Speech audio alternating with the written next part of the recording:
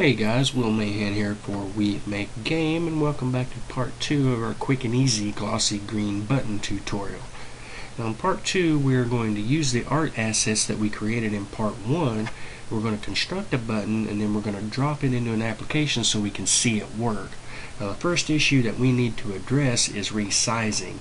If you remember we worked really big the, when we created the art so we could see what we were doing, but now we need to shrink this down to a more practical size. The problem of course is since rasters are pixel based, resizing can be tricky. Here's an example.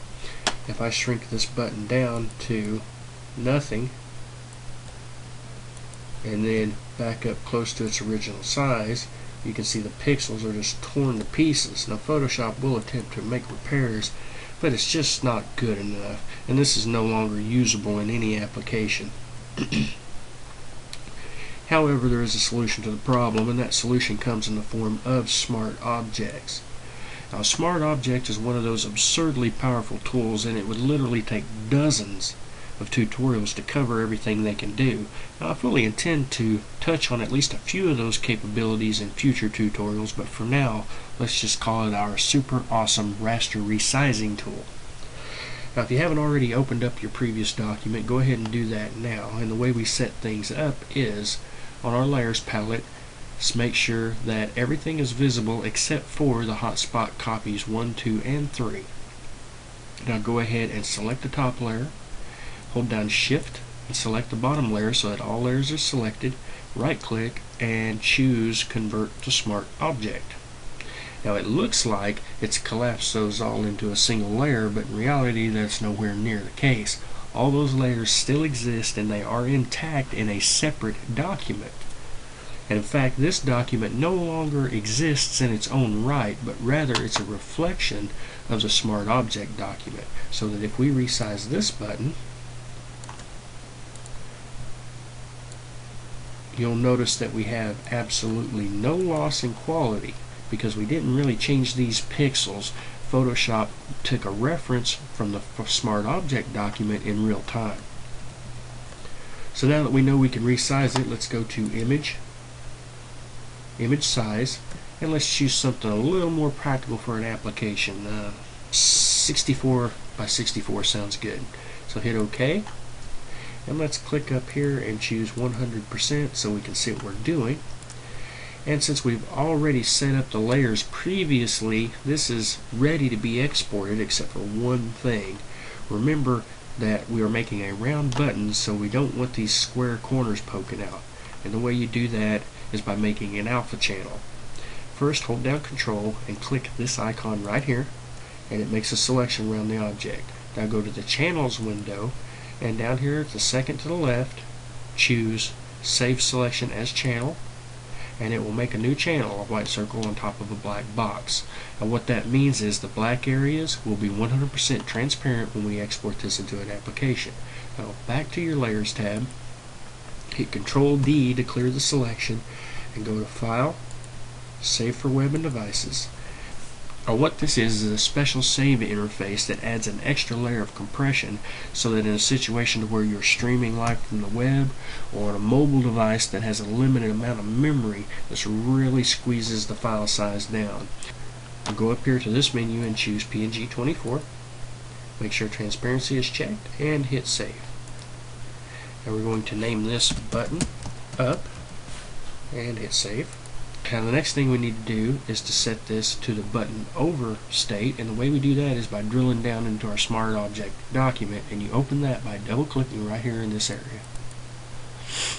And now as you can see all there our layers are just as we left them intact.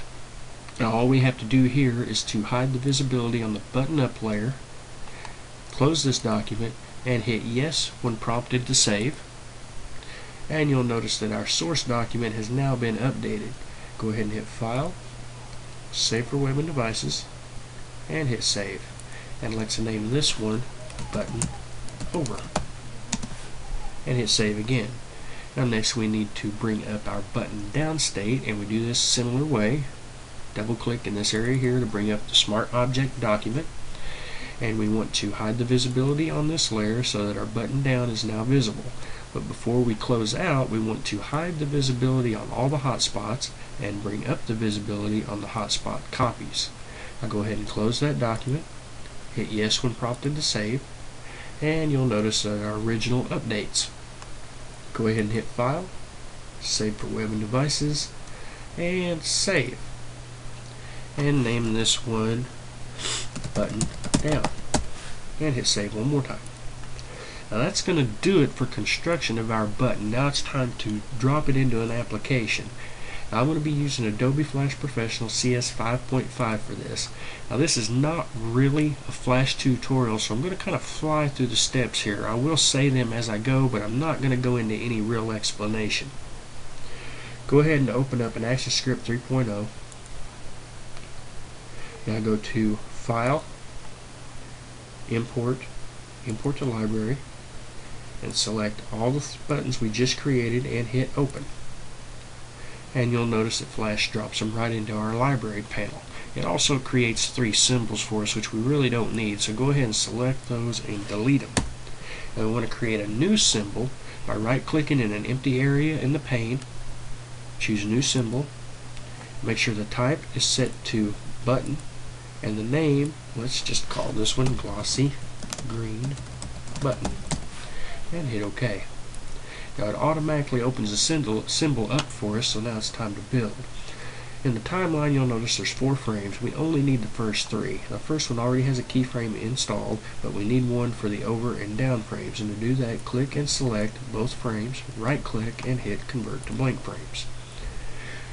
Activate the up frame, find your button up PNG, and drag it over to the middle. Now using the alignment tools, we want to center it, so click Align Horizontal Center and click Align Vertical Center. I'll go ahead and select the over frame, drag the over button into the center, align it as well, align horizontal, align vertical. Now activate the down frame and find the down button object and drop it in there, align horizontal and align vertical. Now click up here where it says scene 1 now go back over here and grab a copy of your glossy green button symbol and drop it on the stage and go ahead and align it as well. Now we're ready to test and see how things work. Go to Control, Test Movie, and Test, and it will bring up a instance of Flash Player with our button right there in the middle. Now granted, we don't have a task assigned to the button yet, but it will still work. Um, if we arrow over it, we notice that it lights up, and if we click it, we'll notice that it appears to be pressed down into its own bezel. And there you have it folks, a glossy green button that you can use in virtually any application you want to use it in. I hope you enjoyed the video, I hope you were able to learn something, and we'll see you next time. Thanks for watching.